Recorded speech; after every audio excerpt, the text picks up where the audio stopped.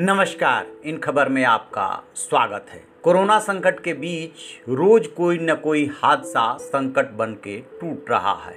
विशाखापट्टनम में जहरीली gas leak होने से 11 मजदूरों की हुई मौत कि चिता की आग अभी ठंडी भी नहीं पड़ी थी कि महाराष्ट्र के औरंगाबाद से सुबह सुबह एक ऐसी खबर आई जिन, जिसको सुन करके हर आदमी सोचने के मजबूर है कि आखिर कुदरत का कहर ऐसा क्यों हो रहा है, क्यों पड़ रहा है।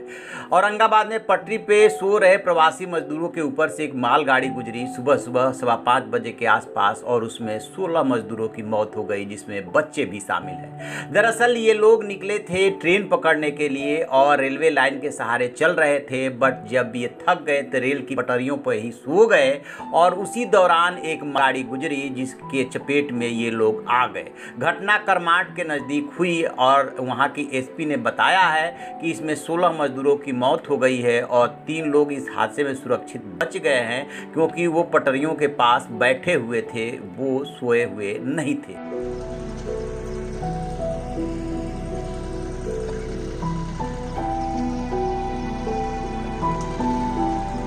पटरी पे सुबह सवा पाँच बजे बहुत ही अनफॉर्चुनेट तरीके से सोलह मजदूरों की डेथ हो गई है।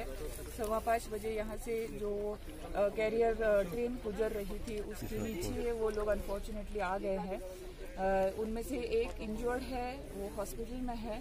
चार लोग जो थोड़ा दूर बैठे थे आ, उनकी हम पूछताछ कर रहे हैं और वो थोड़ा सा सदमे में है तो उनसे बाकी सारी चीज़ें वेरीफाई करना और वो कहाँ से आए कैसे निकले वो सब करना अभी हमारी प्रोसीजर चालू है। कितने मजदूर की डेथ हुई है अभी तक उसमें सोलह मजदूरों की अनफॉर्चुनेट डेथ हो चुकी है। एक आदमी इंजोर्ड मैम कहाँ जा रहे थे ये लोग जालना से निकले थे ऐसा जो आदमी अभी बचा है उन्होंने ऐसा बताया है। वी आर वेरीफाइंग दैट और वो बोले कि वो भुसावल जाना चाहते थे जहाँ से वो ट्रेन पकड़ना चाह रहे थे। ये एमपी जा रहे पैदल जा रहे थे कि मैम हाँ। ये पैदल जा रहे थे और रेलवे पटरी पे वो थोड़ा रेस्ट करने के लिए लेटे थे। उनको नींद लग गई और ये हादसा हुआ। एग्जैक्टली कहाँ से आए थे कुछ पता चला? नहीं वी आर वेरीफाइंग मैम बताया जा रहा है कि कंपनी से कोई इनका कॉन्टेक्ट था? वी आर वेरीफाइंग दैट अभी हमारी प्राइमरी रिस्पॉन्सिबिलिटी है to take care of the incident first और जो लोग बचे हैं उनको काउंसलिंग करना जो इंजर्ड है उनको ट्रीटमेंट देना और बाकी की जो सारी चीज़ें हैं in due course of time जल्दी से जल्दी होंगी ही।